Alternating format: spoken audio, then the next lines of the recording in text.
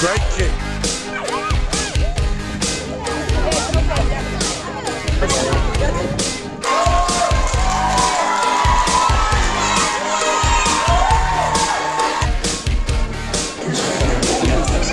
Just a quick one before you all shoot off. Uh, for you that did the uh, colouring competition, really appreciate it. Danielle and myself have looked over them and think they're absolutely fantastic.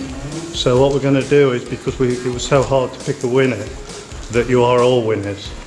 So what I'm going to do is, because you're all winners, I'm going to give the nice young lady over here lots of tickets so that you can come, come to the game on Saturday against Portsmouth.